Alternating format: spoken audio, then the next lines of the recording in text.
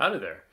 All right, so we just got back from Maine and had an amazing time because we always do. With Maine's wonderful, but also because uh, the hunt there, um, it was it was a very memorable experience.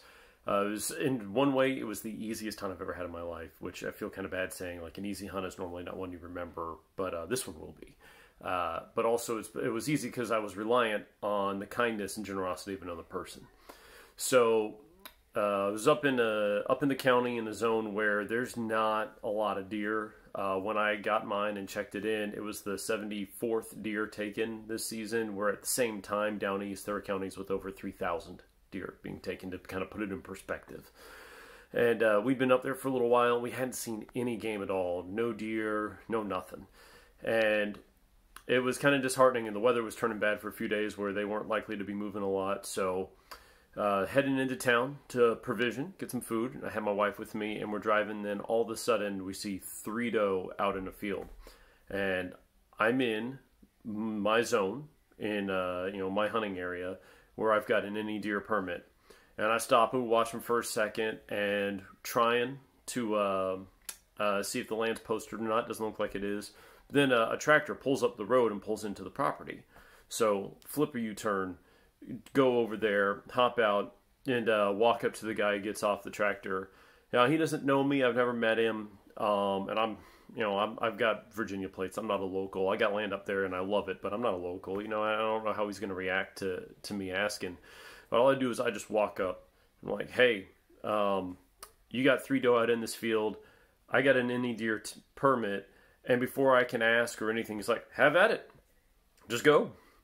So I grab the rifle, um, grab the uh, throw on my orange, and uh, my wife even grabs the phone to video it, and we go after it and uh, and drop one right there, 160 uh, yards away, and she falls on the spot. And the uh, the guy, his name is Jason, and huge shout out to him for all of it, all of his help. He walked out there with me. Uh, out into the field where the deer was at and congratulated me. Then he walked back, got his tractor, and drove out there. And all I had to do was pick her up and load her in the bucket on the tractor. He drove the tractor to my truck, and all I had to do was pull her out of the bucket into the into the bed. Whole hunt lasted less than ten minutes, and I had her from seeing her to asking permission, dropping her, getting her loaded up in the truck. Ten minutes. Um, and it was so simple, but it was all because this guy was so generous. And I didn't. I saw one other deer the whole rest of the time I was there. I was there for another week. I only saw one other deer and I wouldn't have had a shot on it. So if it wasn't for this guy and his generosity, um, I'd had nothing. So uh, made a point. Well, number one, dropped out. Definitely gave him a, a whole hindquarter um, as a thank you because and I hope he enjoyed it. I got it trimmed up and packaged it neatly, and and anyway, I hope he enjoys it. But otherwise, um, yeah, what you see next is uh, is the the shot. It's just my wife filming while I'm on the ground, uh, getting ready to shoot, 160 yards away, and she drops. Anyway, shout out to Jason. Thank you. And uh, Maine is a wonderful place with nice people. You can't beat it.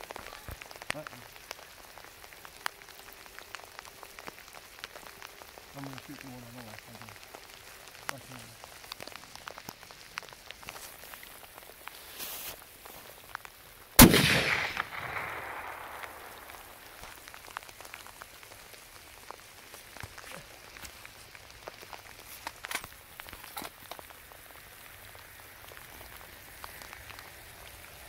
she drop?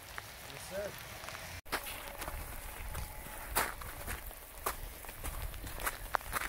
Whoa.